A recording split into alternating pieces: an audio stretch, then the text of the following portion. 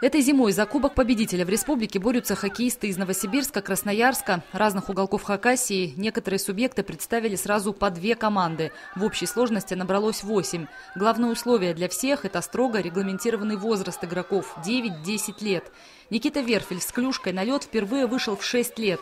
Сегодня уже капитан команды в статусе хоккеиста намерен утвердиться на долгие годы. Хоккей для меня – это жизнь. Я буду играть в него и хочу добиться ну, стать мастером спорта. Абаканский Тепси и Красноярский Енисей-2006 открыли второй день соревнований. Два тайма по 20 минут каждый заставили болельщиков и тренеров изрядно понервничать. До последнего не был ясен исход встречи. И вот результат. 2-1 в пользу наших мальчишек. У соперников свои объяснения такому счету. Мы играли в пас. То есть, получается, они играли по одному, и поэтому они проиграли. Но мы играли в пас.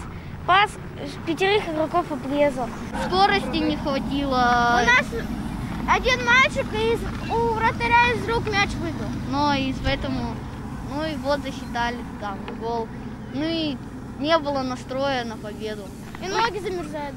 15 минут на расчистку льда и вновь на поле битва. Усть-Абаканский химик 2005 против абаканских саян. С первых минут встречи хозяева поля взяли инициативу в свои руки. В ворота противника летит мяч за мячом. Ой, хорошо! Проявляется игра. Видно, что ребята борются до конца. Умеют играть, это уже видно. Ну, игра есть. Начинаешь, тебе помогать тоже. Отдай пас. Тебе всегда Богаченко рядом уже тебя. Все, давайте, ребят, выходим. Несмотря на мороз, трибуны стадиона не пустуют. Поддерживают мальчишек и родственники, и друзья. Давай, давай, Валера!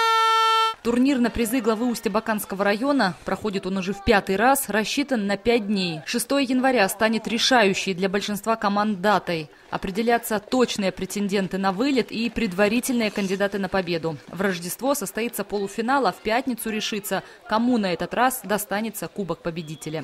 Наталья Гармашова, Антон Новожилов, Вести Хакасия.